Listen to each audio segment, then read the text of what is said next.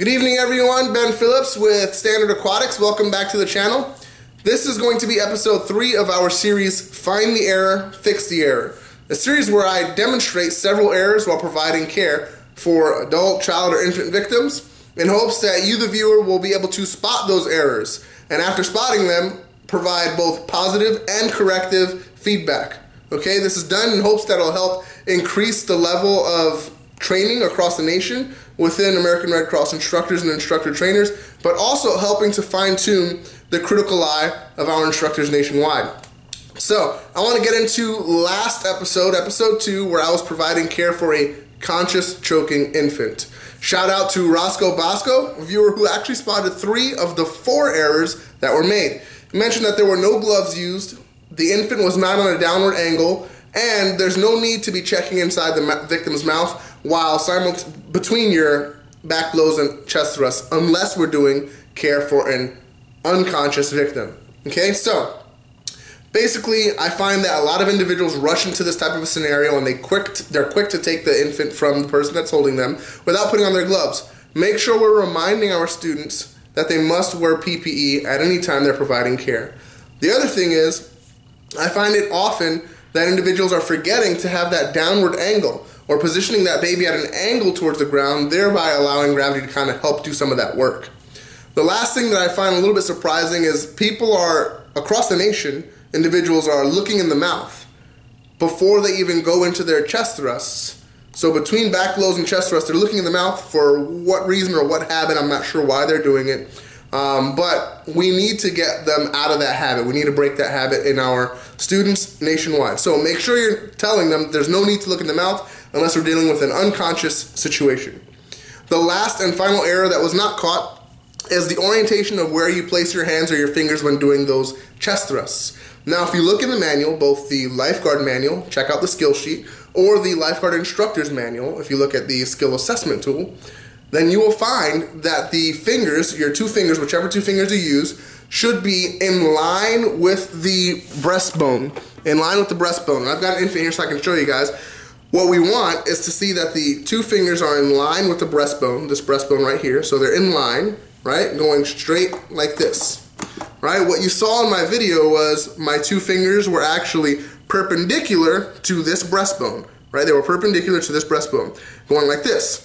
And if you look at your skill assessment tool in the lifeguard instructor's manual, you'll find that a student who does such a performance is actually not proficient. They should receive corrective feedback and they should also be given the chance to try that skill again so that they can meet proficiency. Now, I want to get into episode three skills. Again, shout out to Roscoe Bosco for figuring out the three of the four errors. Make sure you guys leave your errors in the comment below for this video and that you also provide both the positive and corrective feedback, right? I did give five back blows, I did give five chest thrusts. I had some things that needed corrections, but I had the right ratios in my head. So the next thing I want to do is work on a victim who's unconscious. This is going to be an adult victim. We're going to be doing CPR for the obstructed airway on an unconscious adult. To set this scenario up, basically I was providing care for a victim who was conscious. They went unconscious and they're on the ground. So I'm in the middle of care. You'll actually see me putting on my gloves on, in the video, but let's just pretend I'm in the middle of care for this scenario. You will not see a primary assessment to start this session off. We're in the middle of care. This victim was standing upright, conscious, and they went unconscious. So we're gonna go and relocate you guys quickly so that you can get a better visual of our scenario and our scene. All right, here we are. get some gloves on. So like I stated, this is gonna be episode number three find the error, fix the error. looking for you guys to make sure you leave your comments down below and let us know what you think. What did you find? What were the good things? What were the things that needed improvement? Let's get all of our fingers in there. We'll start with our 30 compressions. 1, 2, 3, 4, 5, 6, 7, 8, 9, 10, 11, 12, 13, 14, 15, 16, 17, 18, 19, 20, 21, 22, 23, 24, 25, 26, 27, 28, 29, 30. Looking in the mouth, I don't see an object. I'm going to go ahead and do a finger sweep. Can't reach anything. Take out my triangle mask. Put it on my face.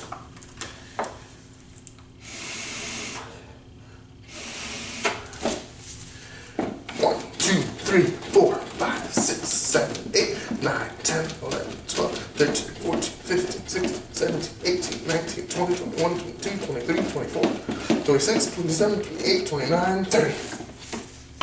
Looking in the mouth, I see an object this time. Finger sweep, get that object out.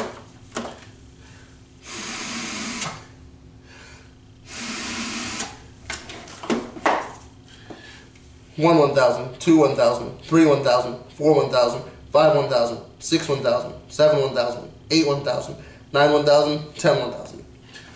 All right, guys, that is episode three. Find the error, fix the error. I'm looking for you guys to spot those errors, whatever errors were made, and provide both positive and corrective feedback, right? Provide those that feedback in the comments below. Let us know what you found. Again, we're hopefully helping develop critical eye across the nation, also developing awareness in lifeguards and themselves and their little um, things that they might be making mistakes on. Um, but we would look forward to you guys to provide that information down below. You can shoot us an email if you'd like to send us some requests at standardaquatics at gmail.com. Okay, you can reach out to us there, or you can just reach out to us in the links in these videos. The other thing I'd like to ask you guys to do is to try checking out the web browser Brave. Brave is an awesome browser. It's lightning fast. It actually blocks ads and doesn't track your location. It stops other websites from tracking your location and it stops them from actually advertising to you things that maybe you were searching last week or whatever. It's a very good browser, very quick. Um, but if you actually try them out for 30 days, they will donate to us $7.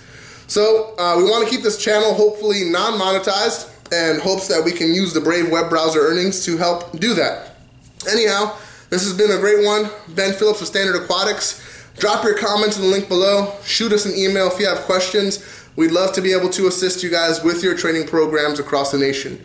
Thanks for stopping by.